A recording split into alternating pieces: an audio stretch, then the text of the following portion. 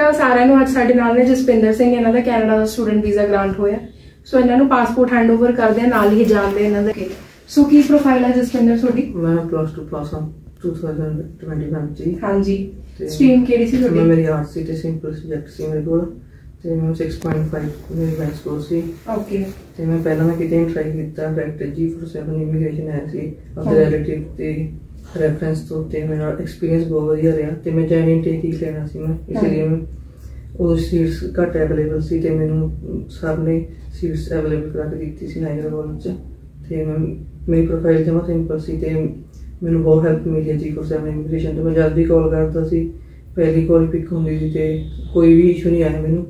ਤੇ ਮੈਨੂੰ ਇਹ ਮੈਨੂੰ ਸਾਰਾ ਅਸੈਸ ਦਿੱਤਾ ਗਿਆ ਮੇਰੇ ਅਕਾਊਂਟ ਦਾ ਬੈਂਕ ਦਾ ਵੀ ਜੀਸੀਕੀ ਦਾ ਵੀ।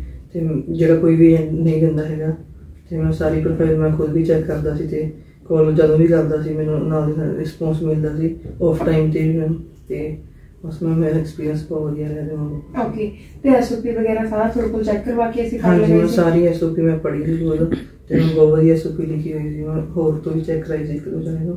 ਤੇ ਮੈਂ ਬਹੁਤ ਵਧੀਆ ਲਿਖੀ ਹੋਈ ਸੀ। ਠੀਕ ਹੈ। ਆਲ ਅਰਾਊਂਡ ਐਕਸਪੀਰੀਅੰਸ ਤੁਹਾਡਾ ਗੁੱਡ ਰਿਹਾ। ਤੋ। ਹੋਰ ਦੂਸਰੇ ਪਰਸਨਸ ਨੂੰ ਕੀ ਕਹਿਣਾ ਚਾਹੋਗੇ? ਮੈਂ ਰਿਕਮੈਂਡ ਕਰਾਂਗਾ ਇੱਕ ਵਾਰੀ ਜ਼ਰੂਰ ਵਿਜ਼ਿਟ ਕਰੋ। ਠੀਕ ਹੈ। Okay so thank you very much